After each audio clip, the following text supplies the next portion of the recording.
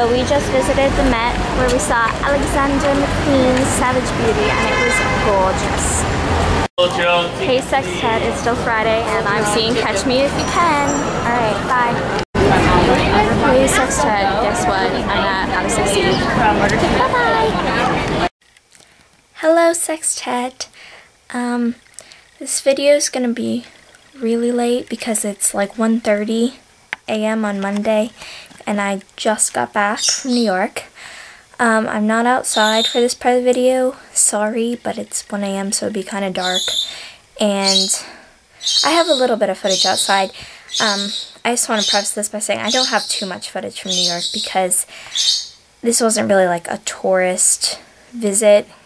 I go there every year pretty much, so it's not a very touristy visit ever for me. But um, this one especially was just to see like friends and Broadway shows. So I have little like me outside the marquee saying, hey, I'm seeing this show. But that's about all you could see in New York. Sorry. That's all the outside part I have. I'll try and vlog outside more. But um, New York was really, really awesome. It was just really good. I'm just going to detail my week for you a little bit. Wednesday started with Hell on a Train, 15 plus, I think it was like, ended up being like 17 hours on the train.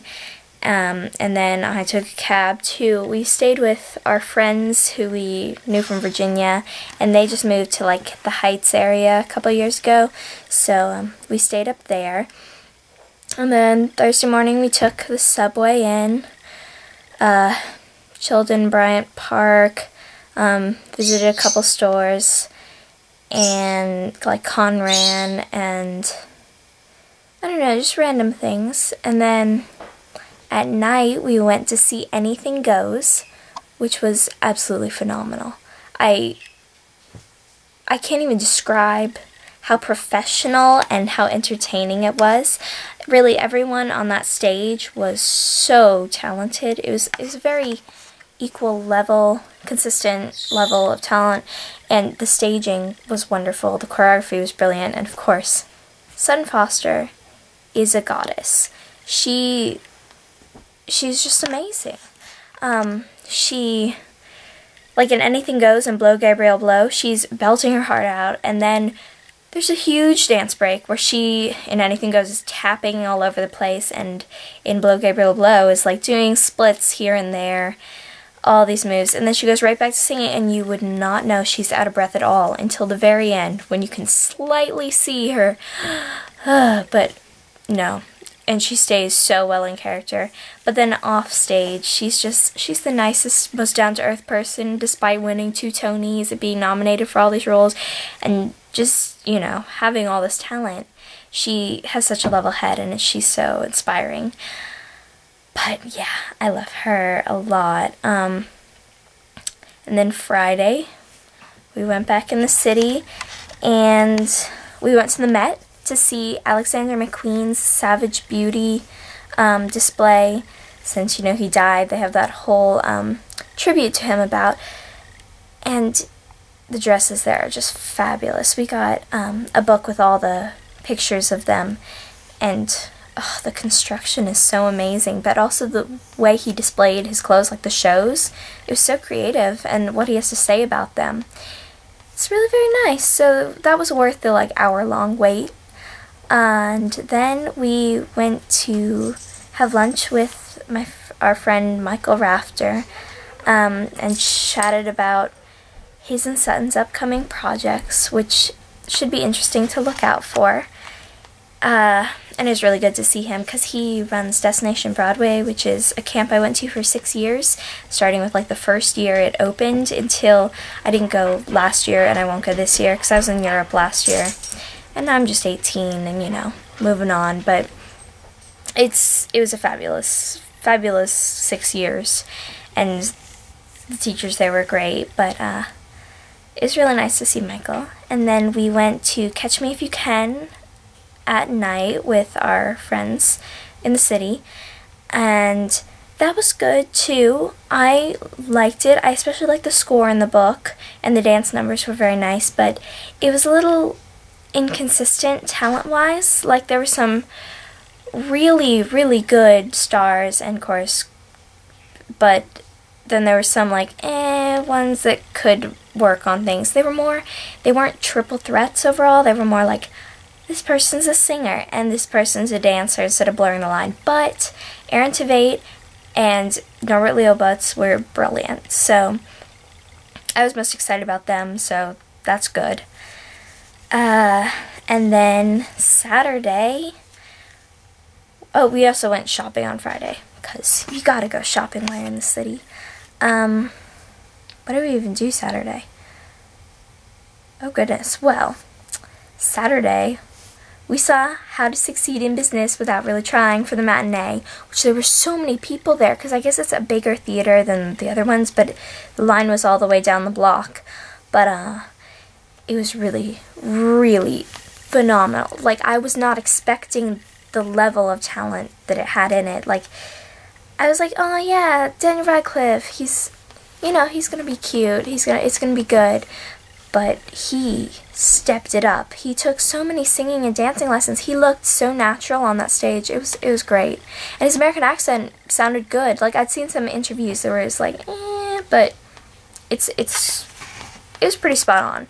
Um, and it, the staging and choreography was that was just like perfect.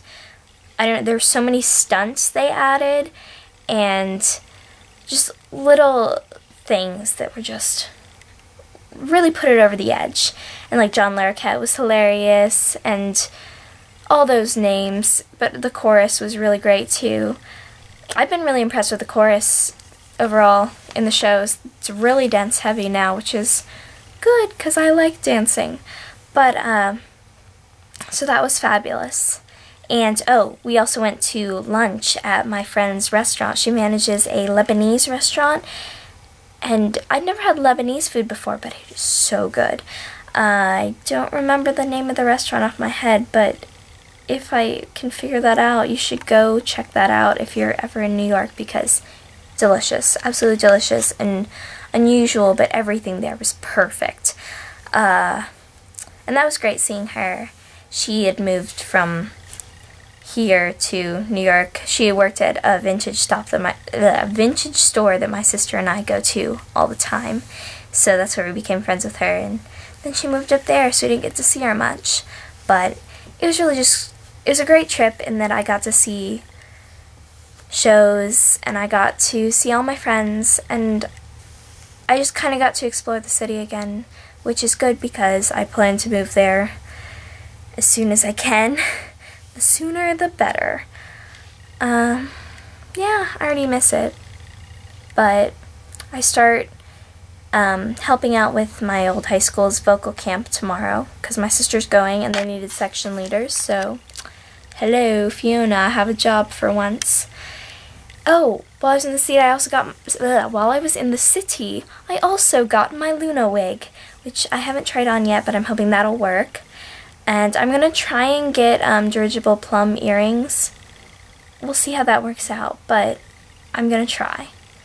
So, I need to get a new wand, but beyond that, I'm pretty prepared for LeakyCon. I just need to work on music some more. And speaking of music, we went to Colony Music while I was up there and got lots of books, so I have lots of new repertoire.